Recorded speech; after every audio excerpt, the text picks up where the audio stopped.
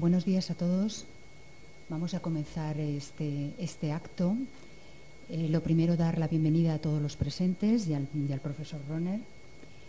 Eh, agradeceros vuestra asistencia, también a los que nos pueden estar escuchando por, eh, por Teleuned. soy Laura Méndez, vicedecana de esta facultad. Estoy en nombre del decano, que no ha podido, siente mucho no haber podido asistir por un compromiso anterior y quiero agradecer al profesor Carrasco y a su departamento que nos dé la oportunidad de tener eh, al profesor Roner con nosotros eh, para dar esta conferencia que eh, segura será de interés, de gran interés para todos. Bueno, voy a decir unas, breves palabras para presentar muy brevemente el currículum, que desde luego es muy extenso e importante de este, de este profesor. Él es profesor emérito de la Universidad de Connecticut en el Departamento de Desarrollo Humano y Estudios sobre Familia. Se doctoró en 1964 en Antropología Psicológica en la Universidad de Stanford. Su principal centro de interés académico ha sido el estudio de las relaciones de aceptación, rechazo y sus repercusiones en el contexto familiar desde una perspectiva transcultural, psicológica y antropológica. Entre sus numerosos méritos como docente e investigador, cabe destacar que es presidente fundador de la Sociedad Internacional sobre la Aceptación y el Rechazo.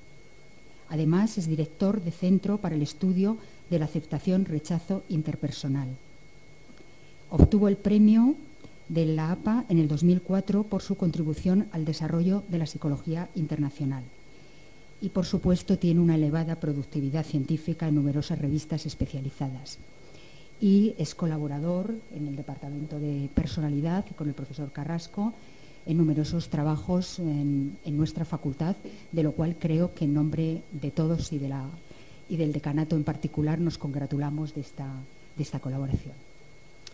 Muy bien, muchas gracias señora vicedecana, muchas gracias a todos por estar aquí, eh, buenos días y muchas gracias también a todos aquellos que están a través de Internet eh, presenciando esta, esta conferencia para mí es una gran satisfacción y una gran eh, alegría, incluso estoy un poco emocionado, eh, que el profesor Ron esté hoy con, nosotros y sobre todo que haya aceptado la invitación para, estar aquí.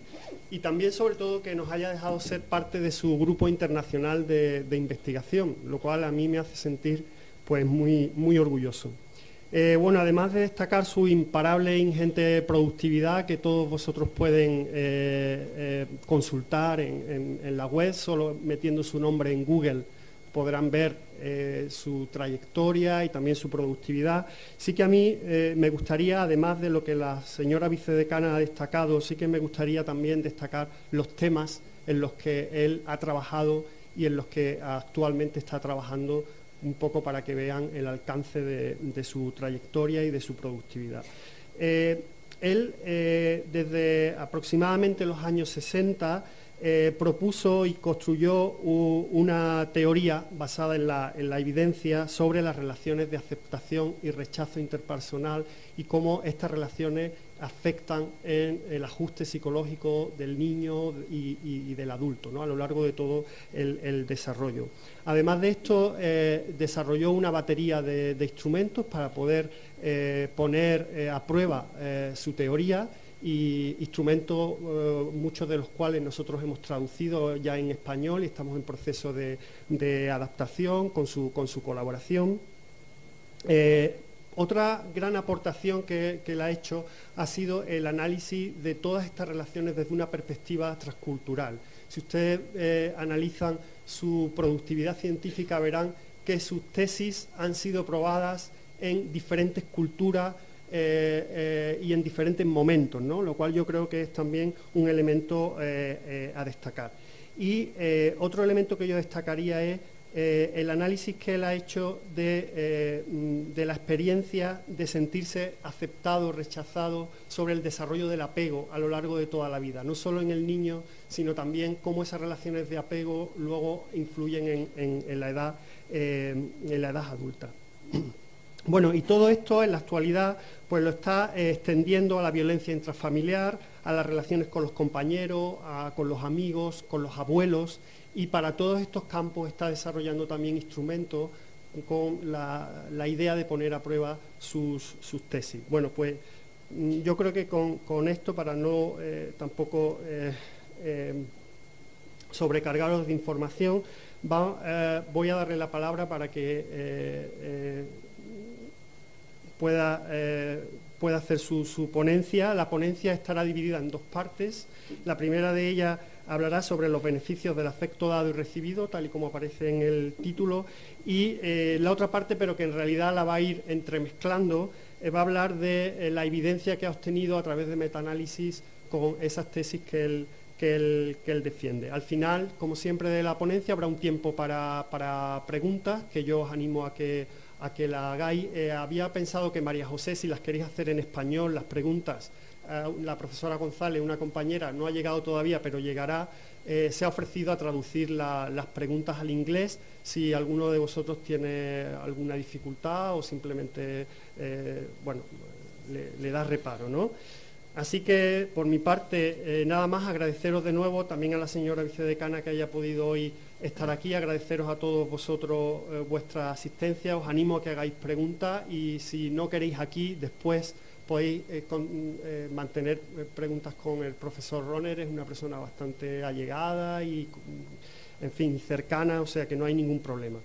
So, uh, Professor Roner, thank you so much for being here.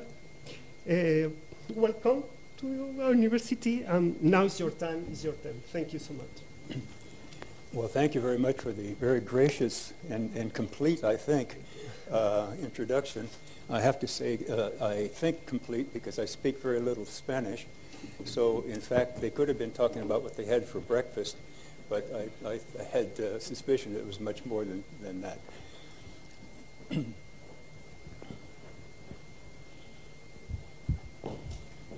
so, I want to talk today um, about a topic that you are all very familiar with, that you already know uh, a great deal about, uh, and that's you. And I think that, however, that I'm going to be able to say some things about you uh, that perhaps you didn't know before. So I want to invite you to think about yourself in everything that I say. And think about the people that are most important to you in everything that I say. I'm working from what we call parental acceptance rejection theory. If the theory is as powerful as we think it is, it works as well for you and me as individuals as it does for the approximately 100,000 other people that we've worked with uh, on every continent now except for the Antarctic. Uh, no people in the Antarctic. We haven't figured out yet what to do with the penguins there. Uh, and we've, we've worked uh, with, uh, across uh, all the languages and cultures and, and, races and geographies and genders of the world and we have come to two major conclusions. Actually, my, my lecture today could be very short. Uh, I could uh, say what I have to say in less than five minutes. However, uh, I've been encouraged to speak for at least an hour, and professors are supposed to profess, so that's what I intend to do.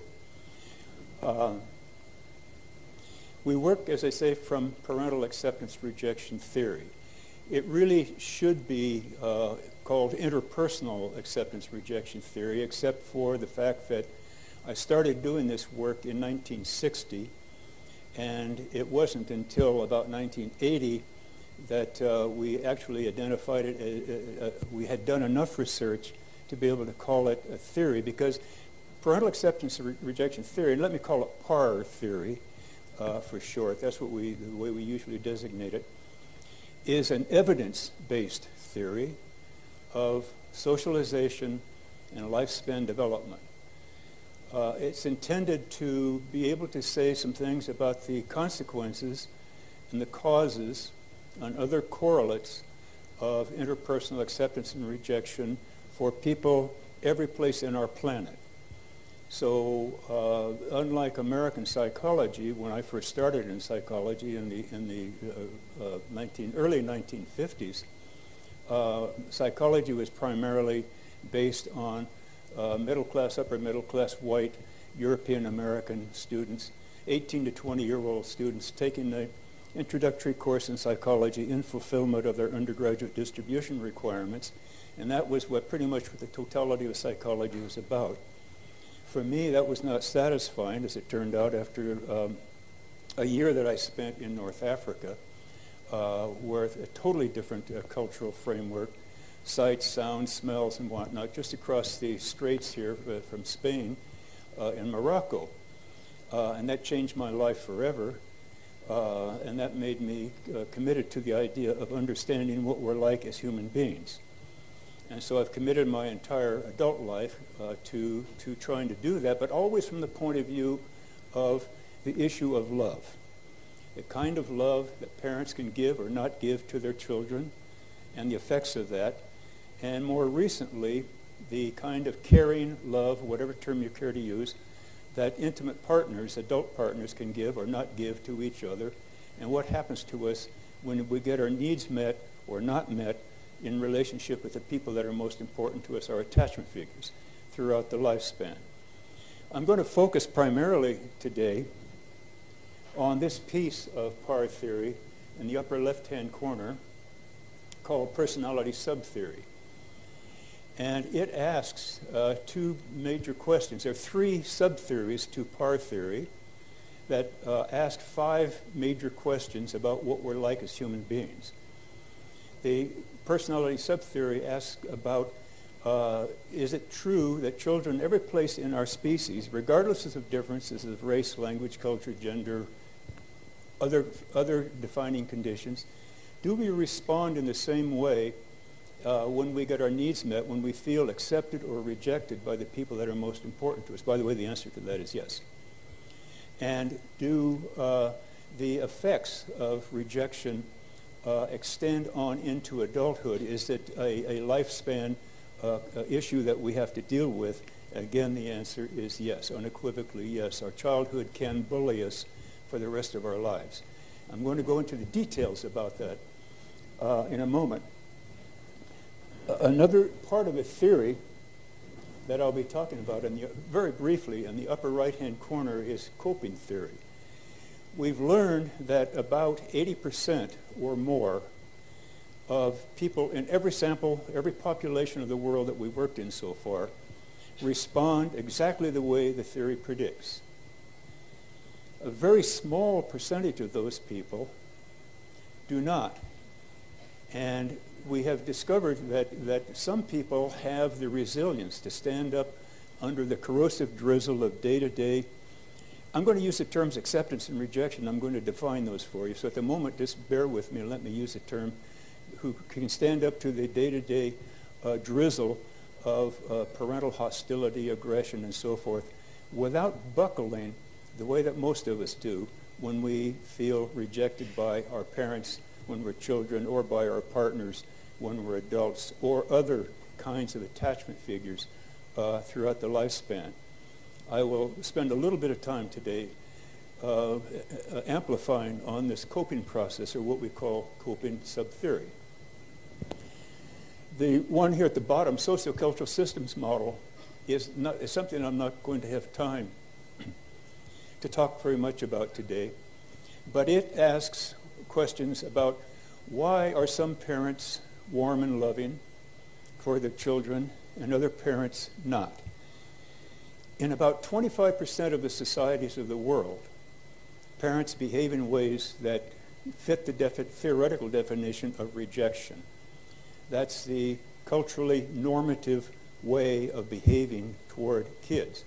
That's the negative side. On the positive side, 75% of the world, parents in 75% of the, uh, of the world are more or less loving toward their children.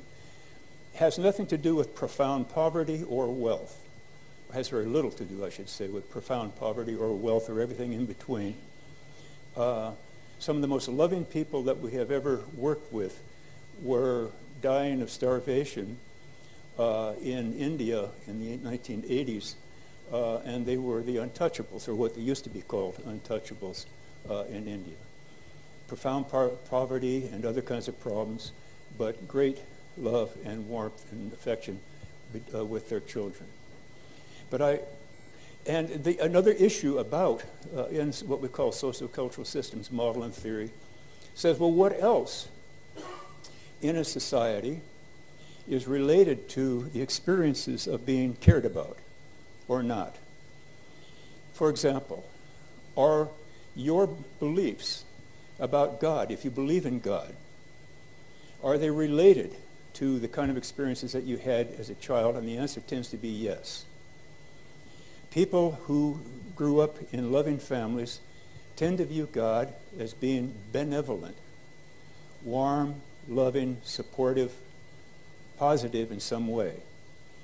Children who grow up in rejecting families tend to view God as being more malevolent, hostile, aggressive, capable of bringing unhappiness into your life, uh, illness, misfortune, and so forth. There's a worldwide tendency, again, across religions, across Christianity, Islam, and, and so forth, the major religions of the world. Despite whatever the scriptures of that religion may say, individual beliefs vary according to the kinds of life experiences that you and I have had as children. Now, I started out by saying that I could make this a very short lecture today. And what I would say if I had to make this a very, very short one would say if you want to leave in the next five minutes, then I want you to leave with two messages. One, people every place on the planet understand, we understand ourselves to be cared about or not cared about in exactly the same way. There are at least four ways that this happens, and I'm going to talk about those four ways in a moment. And I'm going to ask you to think about your own life, your experiences that you had when you were kids growing up with your mothers and fathers. I want to ask you to think about your current experiences with your intimate partners, if you have an intimate partner or past partners, and other people in, in your life, and find yourself somewhere on this, what we call the warmth dimension of feeling more or less accepted or rejected by these very important people, our attachment figures. And then once you found yourself there, you will find yourself also in the second major conclusion that we draw, and that is children and adults, every place in the world, so far, without exception, anywhere in any culture, language, and so forth, respond in exactly the same way when they experience themselves to be accepted or especially rejected by their attachment figures. And there's a specific cluster of things that starts to happen to you and me. So let me, now, so the message, the bottom line message is we understand ourselves to be loved in the same way. There are at least four ways, perhaps others, we don't know yet, but at least four. When we feel ourselves, our need, our very powerful need that we have for positive response from the people that are most important to us, when those needs are not met, we seem to be wired as human beings to respond in exactly the same way. A cluster of seven to ten specific things, and perhaps more, but at least seven to ten things that happen to all of us. Now, if you need to leave, that's the bottom line message. I want you to walk away with those two points. If you care to stay longer, then let me tell you what the evidence is and, and more about how this uh, process works. Well, I guess I'm, my slides here, I, am getting ahead of myself in terms of the slides. Well, so we have these four classes of behavior, and we talk about the psychological adjustment of children and adults and people responding in the same way. Now, I've used these terms acceptance and rejection and warmth and so forth. Let me tell you what they mean to us, at least, in PAR theory, parental acceptance rejection theory. And I want you to, I invite you to think about yourself now. Think about somebody specific who is very important in your life. Your mother, your father, if you want to reflect back to your childhood, your, your, your current or former or whatever uh, attachment, uh, relationship, intimate partner, other people that may have been or might be very important to you. Where do you fall on this continuum? You and I are not either accepted or rejected categorically. We all fall somewhere along this dimension called we call it the warmth dimension the warmth dimension of parenting the warmth dimension of interpersonal relationships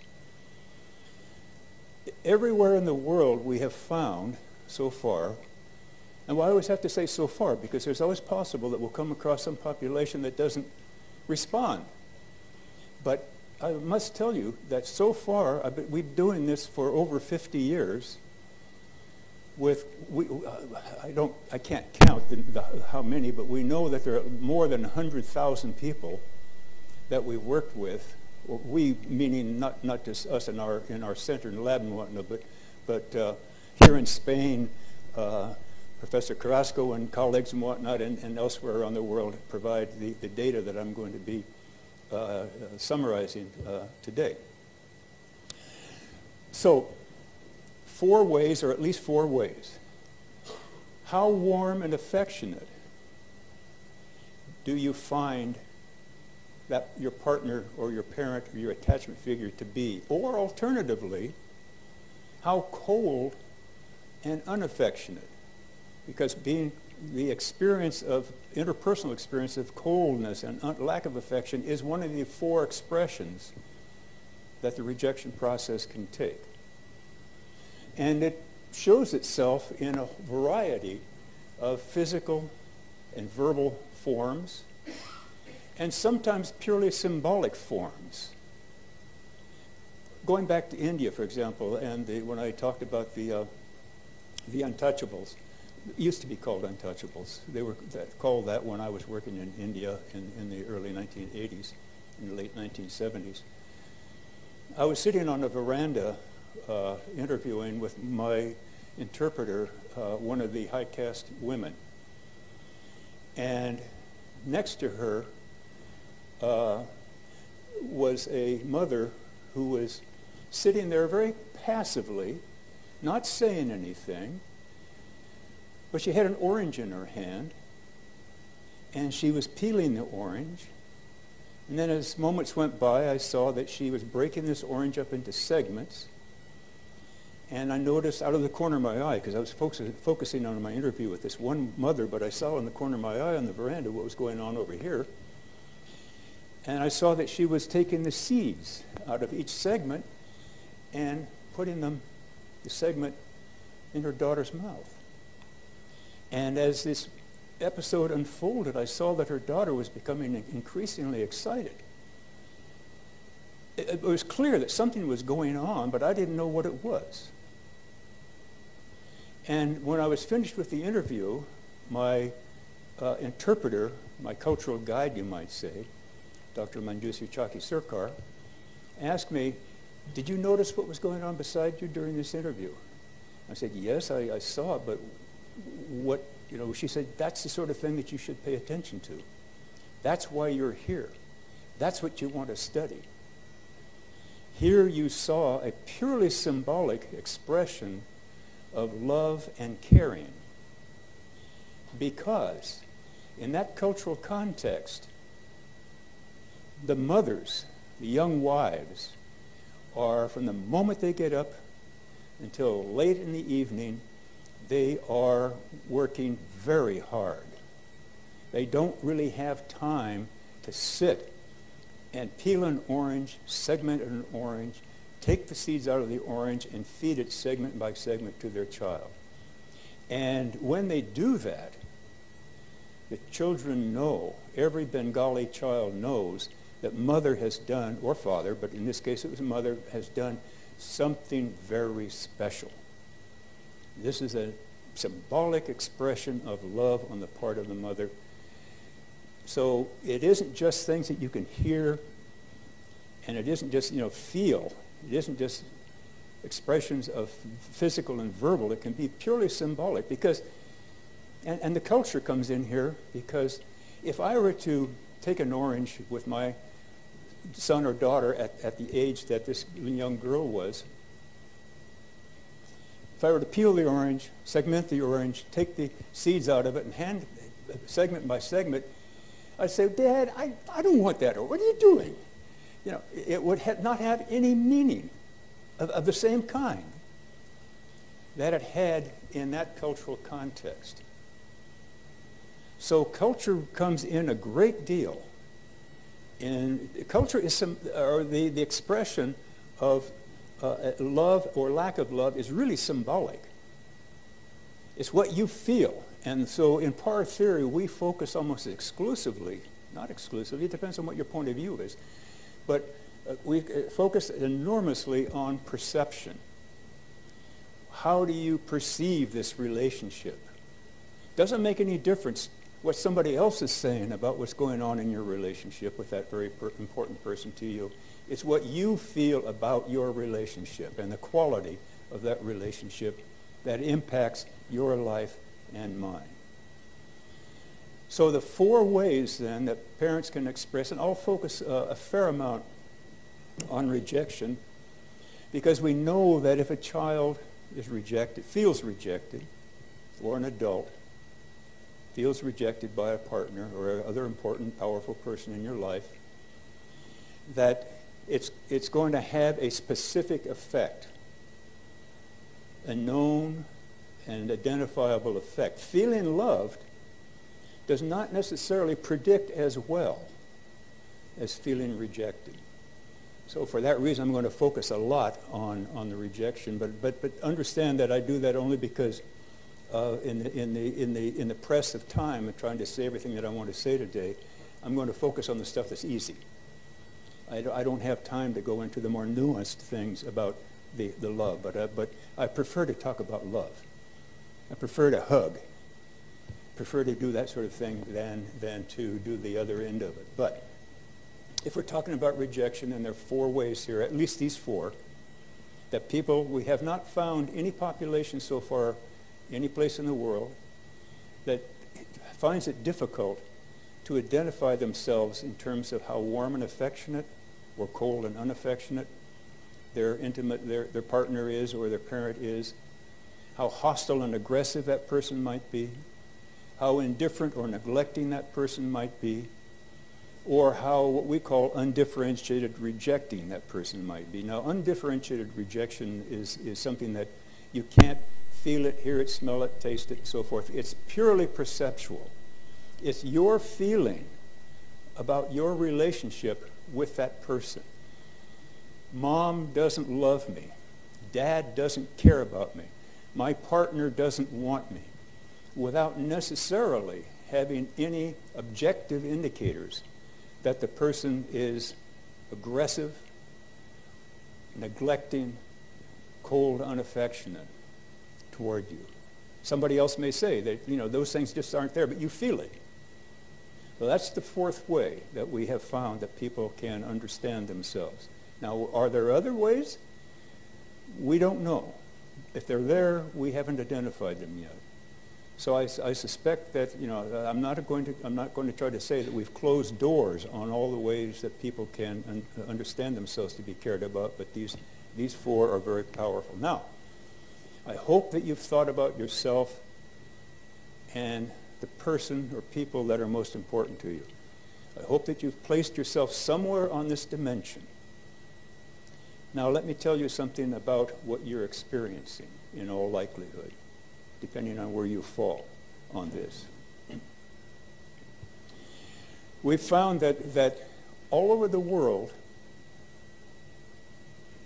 there are at least these seven things that start to happen to us. Actually, we now talk about 10, but the ones that we've done the, the greatest amount of research on, it started, this, these seven started back in, we started with them in the 1970s. The other three have come in more, more recently, and I'll talk about those in a moment. But think about yourself now, because many of us have experienced some form of rejection in our lives. Or actually, it can be something as simple as just being ignored in a, uh, uh, in, a, in a kind of a, a party setting. Somebody that, that, that you know that you think should be relating to you or you would like to have relate to you simply ignores you. Being spurned, ignored, and all these other things, and all the social psychological experiments that have been done uh, on this show very much the same kind of thing, but not as intensely and not in, for, to the same extent and to the same length as people who experience rejection at the hands of parents. Anger. Anger is one of the first things that starts to happen to us. We get hostile, aggressive, angry. We have fantasies, aggressive fantasies, daydreams, night dreams, and so forth. And it can, can, can kind of haunts us a little bit. Uh, sometimes people who, who are rejected find themselves migrating toward or having a, a fascination to, uh, for uh, aggressive movies and violence uh, in the newspaper and stuff like this. A whole variety of things. By the way, much of what I'm talking about today, those of you who are in some practice oriented or will be in some practice oriented uh, profession, clinical, social work, educators, working with the courts, and so forth. These are things that you need to know. Because uh, the major- uh, in the United States, we hear it said not infrequently that 80% or more of clients who come in for therapy of one kind or another are experiencing, they're there because of relationship problems. Well, you better know something about some of the things that I'm, that I'm saying because if you know them, you can anticipate some of the kinds of problems that they're going to have that your clients may not even be fully aware of yet. So you're ahead of your client sometimes for this and, and reasons that I'll be, I'll be, things that I'll be talking about. So anger, impaired self-esteem. We, do, we start thinking not as well, as not as positively about ourselves if we're rejected. And sometimes it's, oh my God, it's my fault uh, I'm not a very good person because this person who's so important to me doesn't like me, doesn't want me, doesn't appreciate me, doesn't want, you know, and so on, whatever, that, whatever, that, whatever those feelings are. And then when we start feeling badly about ourselves in terms of our self-esteem, we start feeling badly in terms of our sense of adequacy, our competence. Uh, self-adequacy has to do with how competent do we feel that we are to deal with the kinds of problems that we have to deal with at the day-to-day level. Simple little things, taking care of, of, of, of issues that come along. And if you feel like you're not very good at this relationship, then it tends very often, not always, but tends very often to say, I'm not very good at, and whatever it is. Self-adequacy, our sense of competence, it impacts negatively on our sense of competence. So we have our feelings about ourselves in terms of esteem, we have our feelings about ourselves in terms of our competence, and it goes on. Seriously rejected children, and but uh, and adults too, but but to a, I'm going to focus a lot on kids, not just because it's called parental acceptance rejection theory, but uh, but in part also because if a child is seriously rejected for a long period of time, depending on how long and what form and so forth it takes. I, can't go into, you know, obviously in the time that we have here, I can't go into all the nuances of this. But if you know that a child has been rejected, that is likely to have, is going to be a better predictor of outcome for kids than it is for adults who are in a relationship, a rejecting relationship. It'll still have these effects. They tend not to be as long lasting and they tend not to be uh, as, as, uh, as severe, but they're still there. Or adults reflecting adults' current psychological adjustment, because all of these things collectively add up to what we call psychological adjustment, this cluster, this specific cluster of things that you see on the, on the screen behind me are one of the major measures that we have, uh, concepts that we have of, of psychological adjustment. So adults reflecting back on their childhood tend to be maladjusted if they feel rejected, but usually not to the same extent because typically what happens with a lot with most people is that you and I experience enough other positive things in our life as we grow older to help us overcome some of these negative effects that we, that we find with children. Some of them, to some degree, but they're still there. They're lurking behind a great deal of what we experience uh, in ourselves. Emotional unresponsiveness. And think about yourself now.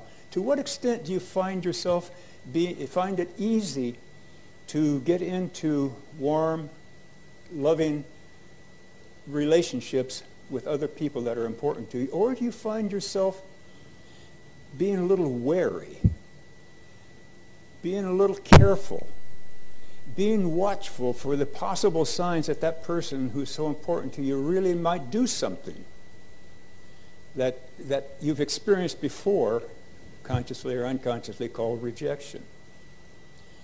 and that you find that you don't you can't get as close to that person now you probably have all experienced someone in your life at some point along the way where that person will let you get close to them, but up to a point.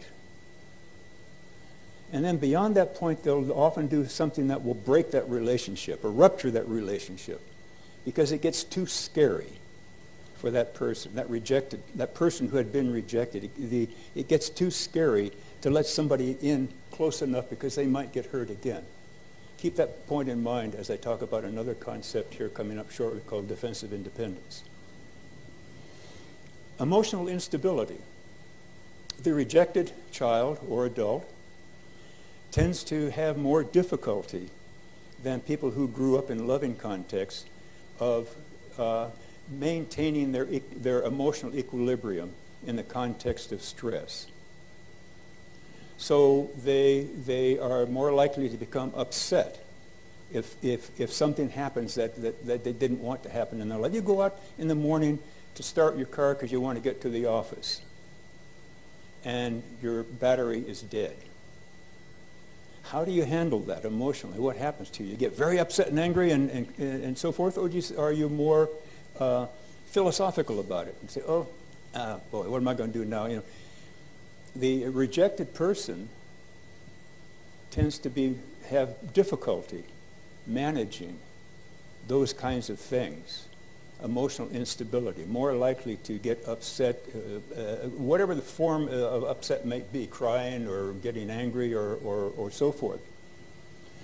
All of this hurt, all of this pain that is associated with, with the rejection process, universally, across our species, apparently, associated with the rejection process tends to get into our head, our mind, and we begin to think about the world as being unsafe, insecure, to some degree, unsafe, insecure, hostile, whatever it might be. It's the, the, your sense of reality is, is, is a negative one.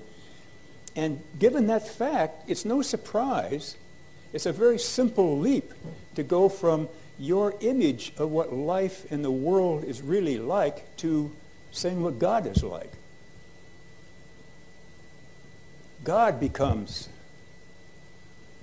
a, a hostile or potentially hostile and aggressive and can bring unhappiness, misfortune, childlessness, and whatever other kinds of unhappy things in your life can, can do that.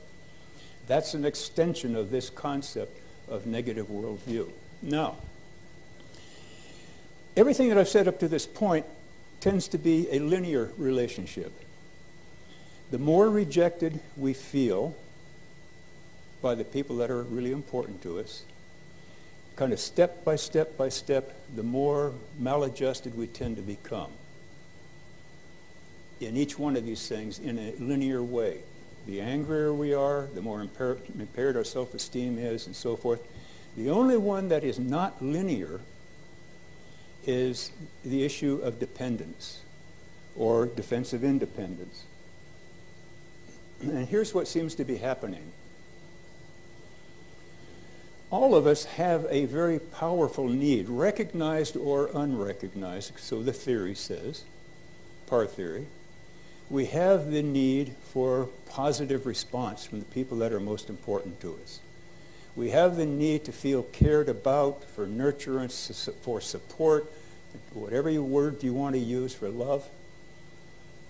That's built into us as a, as a species. But when we don't get those needs met, then there's a tendency to increase your effort. Like a young child, mommy love me, mommy hold me up, mommy pick me up, and stuff like that. Those are, those are expressions of dependency, searching for, yearning for, wishing for, reaching out for response, positive response, but only up to a point. After a while, in the rejection process, it becomes too painful to keep trying. And that's what we have up here at the apex. You'll notice that it's a curve. And after a while, with the anger that starts coming in, and the impaired self-esteem, and the emotional unresponsiveness, and the cluster of other things that we've been talking about, what happens to us is that we tend to wrap our emotions in cotton. We, tend, we, want, we need to protect ourselves. We have to protect ourselves from the pain of more rejection. So it looks, and they quit making bids for response. The yearning is there, recognized or unrecognized. The need is there, recognized or unrecognized. But the behavior isn't there of the dependency. So it looks like the rejected child is becoming, or adult who had been rejected, looks like that person is becoming independent, making fewer and fewer bids for this kind of thing, verbally, symbolically, physically, whatever form it might take. But it's what we call defensive independence, because that person is, is hurting. And what they're trying to do now they're making fewer bids because it's too dangerous to keep trying. It hurts too much. You might get smacked again. You might get rejected again, and it's not worth taking that chance. And with adolescence, very often, it's you get a kind of a chip on your shoulder. Young children, you don't find it quite as much. But as they get into middle childhood and adolescence, we find it sometimes. It's in effect to hell with you. I don't need you. I don't need anybody.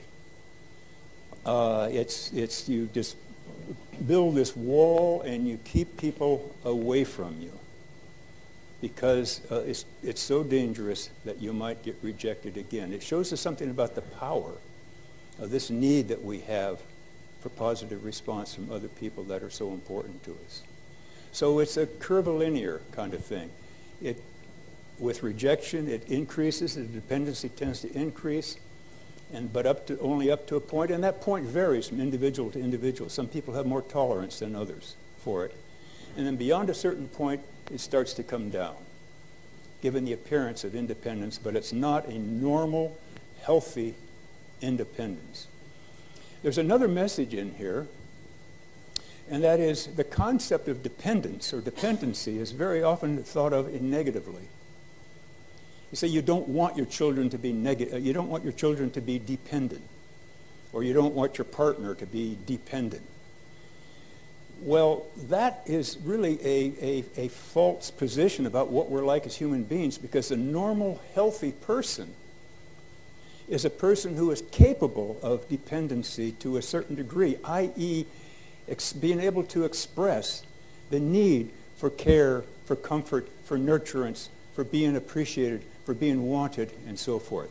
It's the unhealthy, the person who has an issue that gets closed off from this. So we want people who are able to express and be dependent to some degree. And in the United States, at least, it, the, the notion of dependency is often gender-based genderized, I should say. If you want to put somebody down, if you want to minimize them, and especially with, with uh, women, it's, oh, she's just being a dependent female.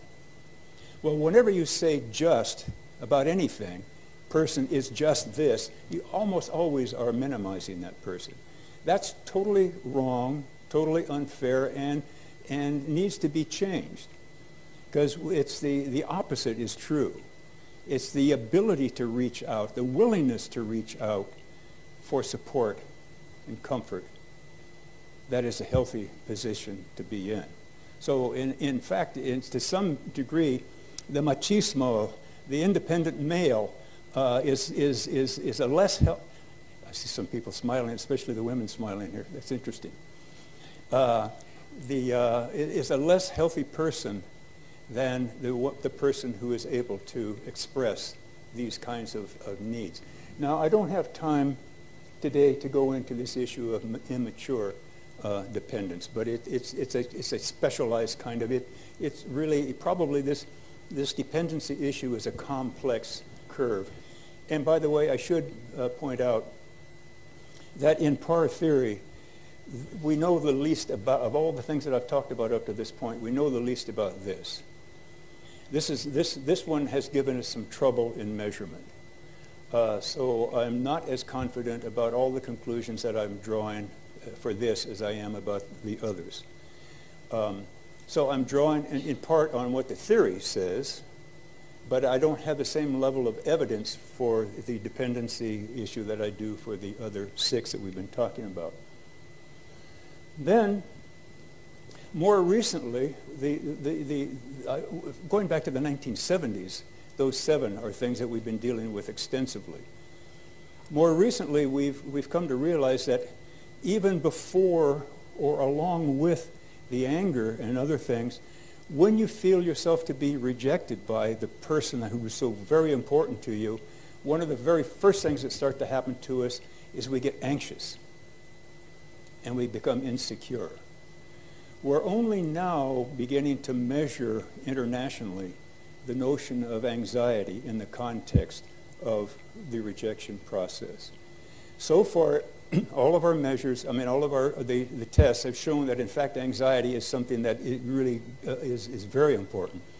So the reject, you can probably conclude pretty safely that anxiety and insecurity, along with the other seven that we've been talking about, are universal consequences.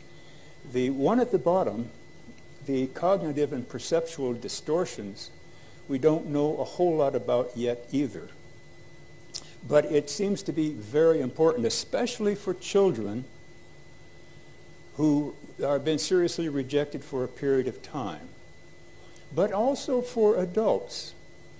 It, it starts to, as, we, as you might guess from the concepts of, of um, uh, negative worldview, it gets into our head, and because of the insecurity and so forth, we become hypersensitive in relationships to the possibility that the person that we're with is going to reject us.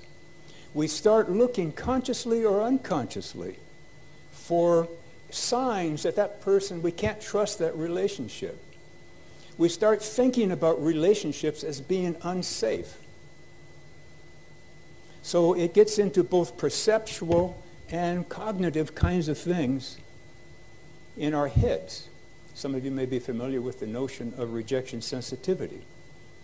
Well, rejection sensitivity is exactly the form, uh, one of the forms of um, cognitive distortion that we're interested in, that we're talking about. And we have been studying that, and we know that the rejected child and the rejected, the adult who remembers having been rejected as a child scores significantly higher on standard measures of rejection sensitivity. It's the heightened awareness of potential, overreacting to it, and anger. Those are the three components that, that, that are part of the rejection sensitivity process. And many other things. Uh, another story comes to mind here about these, these, these perceptual uh, and cognitive distortions. Many years ago, with my, my children, uh, on a Sunday afternoon, we just finished all the chores that we had to do around the house and stuff like that. We went to the local ice cream parlor, a place called Kathy John's. And we were having ice cream, and a group of boys, 12-year-old uh, probably boys, had just finished a soccer game and came in, and they were standing in line to get their ice cream. And another boy was late, and so he came rushing in, and there was a carpet on the floor that was kind of rumpled, and he tripped on the carpet and fell forward and hit the boy in front of him. The boy in front of him knew that that kid behind him intentionally hit him. And he was furious, and he was going to start a fight with that little boy. Something was going on in his readiness to respond with anger was something that was purely unintentional.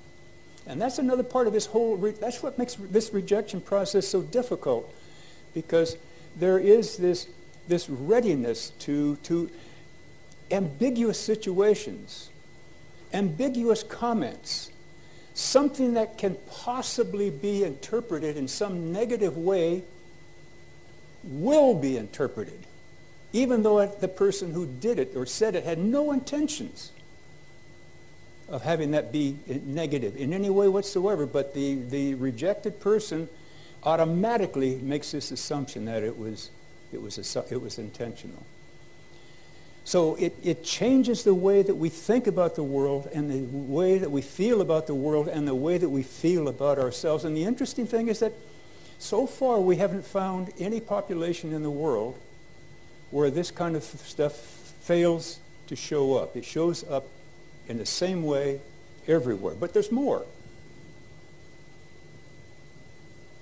Uh, very briefly, what I wanted to mention here was that, as I mentioned earlier, some very small number of people, and we're studying this right now, we have a, a population of about 12,000 people. Copers are hard to find. Coper, by the way, for us, in, oh, my wife is telling me I'm going to have to speed it up. Okay. Uh, copers are, are people who, for us, we talk about affective copers. When we talk about copers, we mean people who emotionally are doing okay psychologically despite having experienced serious rejection. Cope, those affective copers are very different from what we call instrumental copers. And these are people that are doing okay in their occupations. They're doing every okay in their workaday world. They may be, even be at the top of their profession but emotionally, they're in pain. So we're, we're not dealing with the, the instrumental copers, we're dealing with the affective copers and identifying those people who are seriously rejected but still psychologically healthy is, is, a, is a challenge. But we think we have a number of people internationally who, who meet this and we're, we're trying to study those. So personality subtheory, as you know then, says as the rejection process in, increases, we're going to get an increase in the, these, these issues of psychological maladjustment, this collection of seven to ten things that I've been talking about. Then there's another group of people up here called troubled. Now, those people are, some of those people are people whose psychological adjustment, they're having difficulties for reasons that have nothing to do with being rejected. So you and I can be psychologically messed up for a lot of reasons that not necessarily rejected. I'm not, so we don't want to conclude that all people who are psychologically distressed are, are, are feeling rejected. That's not necessarily the case. But what bothered me for years was why is it that some of these people, adults, uh, who come from loving families, show exactly the same cluster of psychological problems that the rejected child shows. And that became, that was a puzzle for me for a long time until one day, a colleague of mine, sitting across the table from me, was, she was totally distraught. She was sobbing, she was angry, she was going through a whole set of emotions about a relationship that was that had been fail, that failed. This guy that she was desperately in love with dumped her, but he dumped her almost three years earlier. But she was still dealing with the pain of that.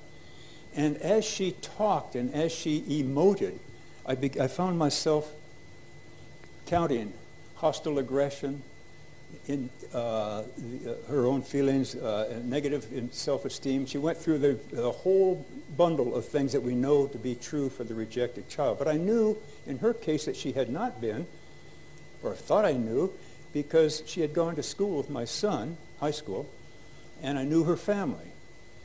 And so I, ha- I thought that she had come from a loving relationship. So in, with her parents, and that's at that point where this light bulb went off, which is pretty obvious now, but it wasn't obvious to me at the, at the time.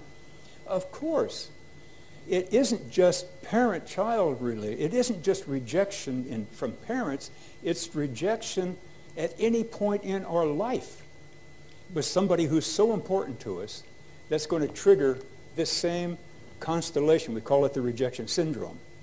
The same constellation of feelings that we've been describing here. And from that point on, uh, we've been uh, talking about interpersonal relationships uh, rather than simply parent-child relationships.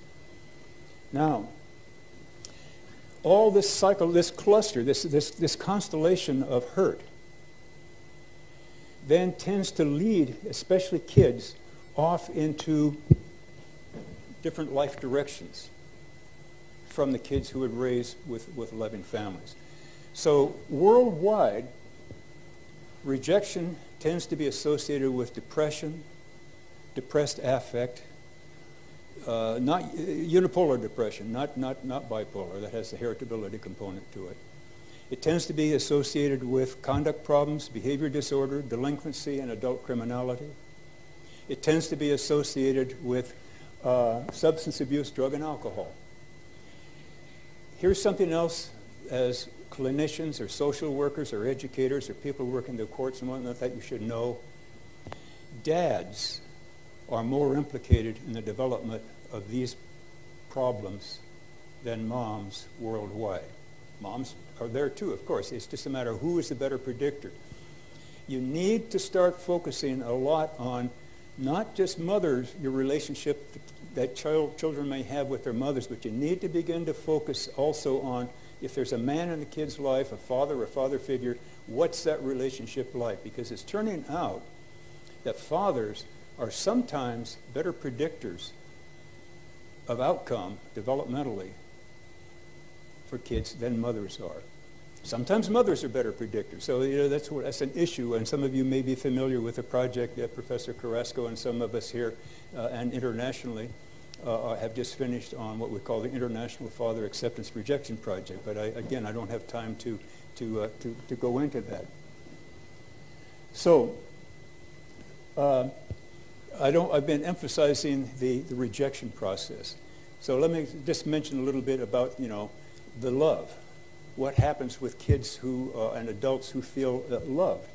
Um, so pro-social behavior, kids who, who, grow up in loving families are significantly more likely. By the way, everything I'm saying is a matter of degree.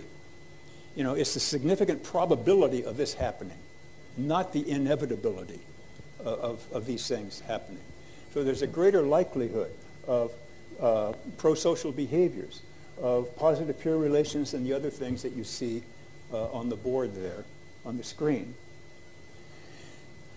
I also want to emphasize the fact that rejection isn't a mere epiphenomenon. It's something that actually goes into our brain. And we're now learning there's a huge biochemical, neurobiological, etc., even changes that happen in our body.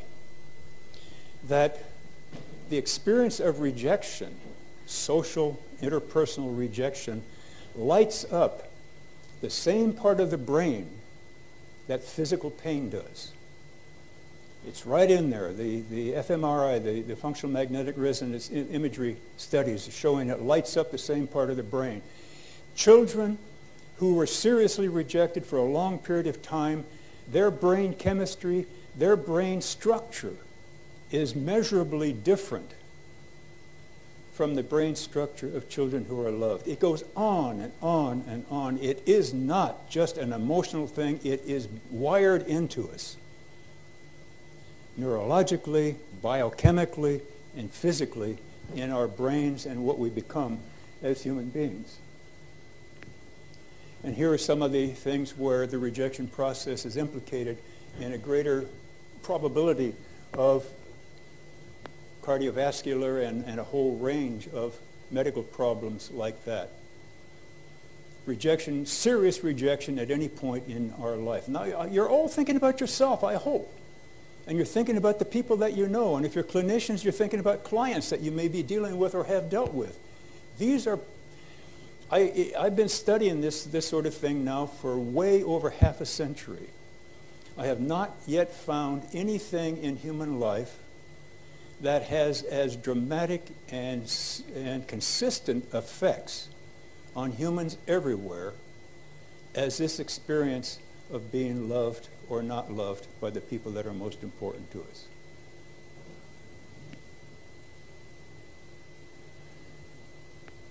it, now, and this is not our research here. Now I'm going to talk a little bit about Kory Floyd's work, just very briefly. Because it is not just a matter of experiencing love. I use the word love, you know, being cared about, whatever, whatever, whatever that positive expression might be. But also, if you're able to do it, and this, of course, difficult for people who are rejected to be able to, to reach out and be affectionate with other people, but know this that there are benefits to you over and above any of the benefits of giving affection, over and above any of the benefits that you might have from receiving it. So it's a win-win situation. Give affection, hug, kiss, caress, in appropriate ways, obviously. You don't want to go out there. You've got to be a little careful about some of these things that you do. But do these things as often as you can because it's, it also gets into uh, issues of brain chemistry, of physiology, neurobiology, as well as our emotions. So uh, the, the, the, the, the thing that we're discovering now in the 21st century is that, you know, these really are biological issues that we're dealing with prior to that, we didn't know that. We thought that they were, at, we knew that at least they were psychological issues. Um, all right, benefits of affection given. And if you have interest in knowing more about, because it goes on, we have 200 articles and 15 books and stuff. Please visit our website. There's an article on the website called Introduction to Parental Acceptance Rejection Theory. And I want to invite you, if you're interested in this topic, if you want to find out more about it and the evidence and so forth, invite you to read it, read that article. And again, as you read that, think about yourself and the people that you know. And thank you very much.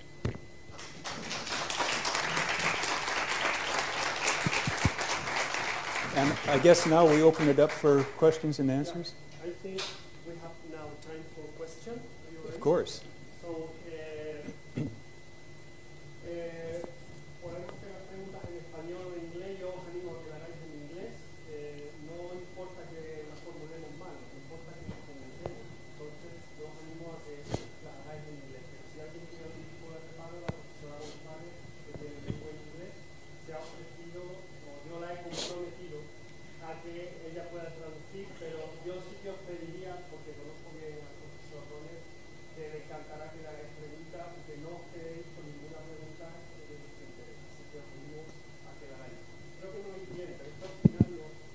Ahora sí va. La debemos hacer con el micrófono para que las personas que están online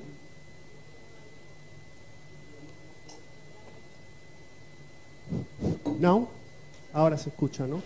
Eh, bueno, pues venga, tiempo para hacer cuestiones. Eh, si hay alguna, claro. Estupendo.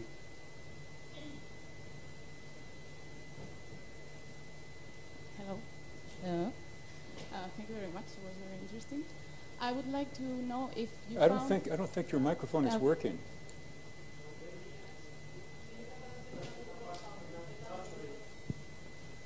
Uh huh. No. Uh, I would like to know if through the, the, investigation you found any difference in gender, like not independency or independence in, in people, but if there's more rejection uh, towards women or uh, males, like females or males, uh, cross-cultural as well? Gender differences. The question is, are there, are there, do there tend to be gender differences? There are in some times. Um, and there also uh, seem to be uh, uh, sometimes differences in the way that people respond. Um, uh, there's some evidence, and, and I, by the way, I forgot to mention, I, my apologies, I, I should have brought into the discussion, we, have done uh, 11 meta-analyses of over 100,000 people um, uh, trying to test the universality of the propositions of, of PAR theory and I was going to build that in, and I totally forgot to, uh, to go very far, so I'll mention that now. Uh, there are, there are some, some gender differences, both in the parenting side of things uh, and also in the response. But they, they are very small. They, they're statistically significant, but this, they're, they're really so small that I am somewhat reluctant to, to, to emphasize them very much, especially from a clinical or any kind of practical perspective. Um, and we're just now learning, we're, we're, at this very moment uh, back in Connecticut, we're doing a, a meta-analysis of uh, about 100,000 people, um, 200 studies, uh, looking at gender differences, uh, boys and girls' uh, responses to, to this. So uh, it looks like there are going to be some gender differences, but we're not quite sure exactly what they're going to look like yet.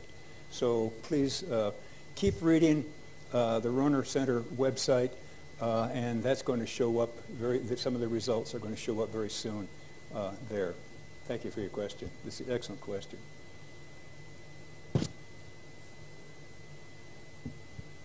Hello? Is it working? Yes. Well, first, uh, thanks for coming. And, well, my question is, I don't know if you already answered uh, that question, but uh, it is if, if someone has been rejected he always responds with danger to the situation, or if someone responds with danger, it means that he has been rejected before? Interesting question. Interesting question. Uh, can you all, did you all hear the question? Do I need to repeat it or, or uh, okay. Yeah, if someone is rejected, there, there's going to be anger in there someplace, probably. Now, it can sometimes also be, you know, sometimes people will feel like it's not appropriate to show anger. And again, there's, there, there seems to be some gender differences there in, in, in, in the socialization of children. Sometimes girls are told, no, it's not, nice girls don't get angry. That's not, we don't find that so much anymore, but we used to find that uh, a fair amount. So there, but can be, the anger can be bottled up. Uh, but it's, if you're an, an, an, astute clinician or have some good measures like ours, uh, you can get people to identify that there, there, there is anger. Now, if somebody is angry, does it necessarily mean that they're rejected? Well, no, I, it, it just depends entirely on the context. But if someone is angry and you identify that they have impaired self-esteem and there seems to be some emotional unresponsiveness issues and, you know, you go through this as I did with my colleague when she was sitting across the table from me. I found myself, my hands under the table, counting off one, two, three, four, five, six, seven. Oh, she's got that. then you know that that person has, know, you know, in, in all likelihood, that that person has some significant rejection issues that may or may not want to talk about them yet.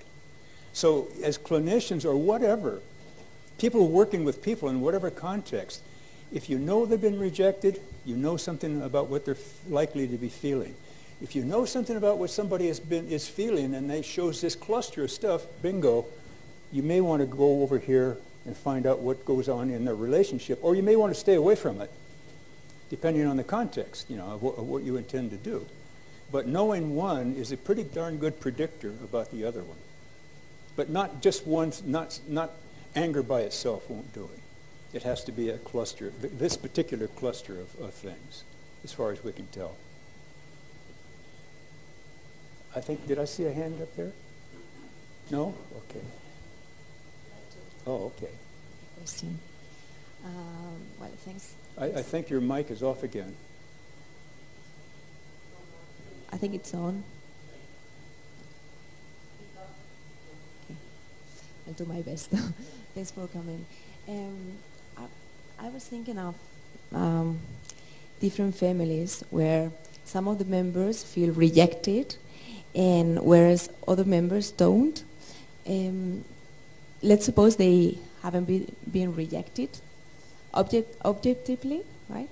Um, so what do you think uh, may have happened? Why some of them, some children in that family, uh, feel rejected, they've been rejected, whereas others don't? Uh, what could be the reason, according to your experience? Could it be just biology? Because they, they are probably um, they've been treated in the same way uh, by the same people. So what could happen in that case? Yeah. Uh, you and I, we, we can grow up in, even though they're biologically the same people, they can be utterly different families that we grow up in, depending on the age differences, depending on the gender differences, depending on life circumstances of the parent.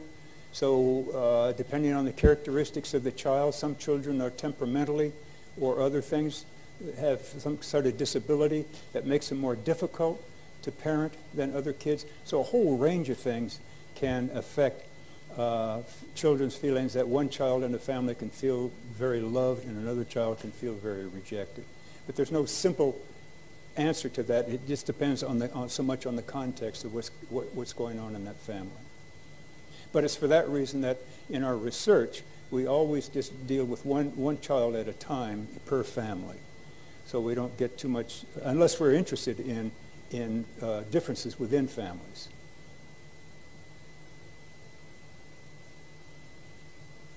Is there anything else that I can tell you about, about, about yourself if you want to hear something more about yourself? I hope by now that you've all thought about yourself and find yourself here someplace. Yes? Well, um, thank you. Thank you very much uh, for your lecture. Uh, you. Has been very interesting. And um, I want to to propose uh, three um, three aspects to to comment. Um, one of them, the first one, uh, um, is uh, just curiosity. At the, the beginning of um, your exposition, you said that um, the uh, uh, untouchables are uh, the, the, the more um, uh, the cultural group less reacting. the untouchables. Let's, yeah, yes. yeah, but uh, uh, what about the, the more reacting uh, cultural group in, family, in close relationships? Yeah, in the, in the, in the village where, the community where we worked in West Bengal, the, the high caste Brahmin, it was a Brahmin-dominated village. Uh, and the Brahmins are the political and economic and in every other sense of the word, the elite. And there was significantly higher forms of rejection, more serious rejection among them than among the untouchables.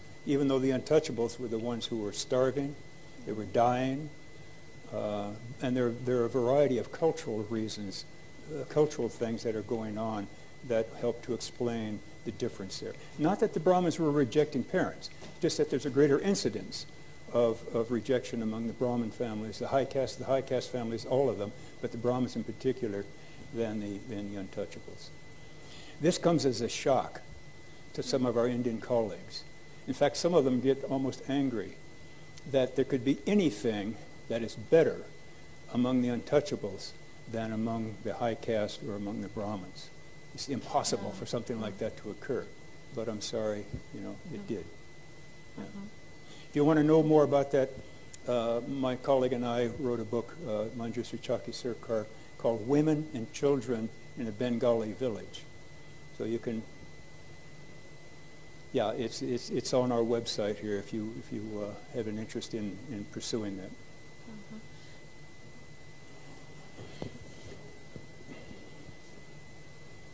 Nancy, I think she had two, I think she had three questions that she wanted to ask. She had three questions.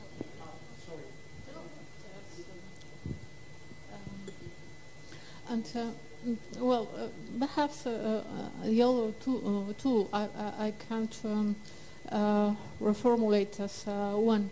Is uh, Yusef, um, couples uh, with reaction look uh, like or uh, better behave as uh, resilient people, uh, mm, and they show uh, a good ad- adjustment but uh, in their deep, they are in pain. Oh, yes, Uh, they are in pain. Yes, they yeah, are. Yes. uh, They're the- just not in as much pain as a rejected person typically is. So, oh, yes, I, I need to emphasize that. The copers are not people who are pain free. They are people, uh, they, they hurt, but they don't hurt. If this is a continuum of no hurt to great hurt, Yeah. they're not up here at the great hurt end. They tend to be sort of mid-level or a little lower, uh, whereas, but they're still not as psychologically well-adjusted typically, some may be, but not very many, as people who were raised in loving families. Yeah, but my question uh, is if uh, you have found um, uh, some possibility to use the resilient aspect of the life Uh-huh. to overcome the uh, reaction problem, and Yeah. uh, if uh, so, uh, in in uh, what ways? If I understand your, correct, your, your question correctly, that's part of the reason why we're, we're trying so hard to understand the coping process. Because if we can find out what it is that helps these people to cope, then maybe we can take that information and work with people who are not doing as well and let, uh, help them to become more resilient and more coping, uh, Mm. capable of coping. That's our goal. That's where we want to go. Okay. Yeah. Okay. And uh, finally, um, uh, you said um, that uh, reacted uh, people uh, shows um, uh, intolerance to to ambiguity in the, in relationships. Mm, have you found also that uh, they are requiring a continuous reassurance uh, of, uh, to be accepted? Uh, I'm not sure I followed that. Would you say that again, please? Or, or Miguel, could you? Yes. As, um, have you found mm, or not that uh, uh, if um, uh, rejected people, mm, they need a continuous reassurance uh, uh, of, uh, to be uh, uh, accepted in order to overcome mm, their, their intolerance to ambiguity? Yes. Yes. Rejected people need constant reassurance. My wife is laughing because it, Yeah. it, it kind of fits. And, uh, and this is a solution, Huh? really? And it is a, a solution, a working solution, an effective one, or it's a way to stimulate the dependence. It, is it, well, I mean, it helps you get by day to day. It, yeah, it bound, um, yeah. well, we need to get into a therapy session here, don't we? That's it. okay, okay. And Nancy, did you, do you Uh, My remark was simply to um, emphasize that if there are people who are interested in, in uh, how to use the measures that Ron has developed, and especially the ones that uh, Miguel has translated into Spanish, that they should contact um, Miguel for information about how to get this and how to um, obtain our um, books that Ron has um, written about these different topics. And uh, there, there are different websites beyond this that Miguel can, can give you. So I think time's over. Oh, sorry. No, no, no, no, no, no. Sure. Oh, I'm, I'm, uh, when when you put me on, on this topic, I'll be here all day. Thank you. Uh, uh, Could you expl- uh, could you explain? Can, can uh, you, uh, Could you please, uh, it's, something's not working there. could you please explain uh, the cognitive consequences of rejection?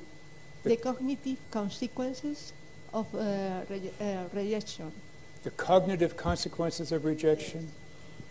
Uh, you mean the, the cognitive distortions that Yeah. tend to be associated with rejection? Um, beyond what, what the slide shows.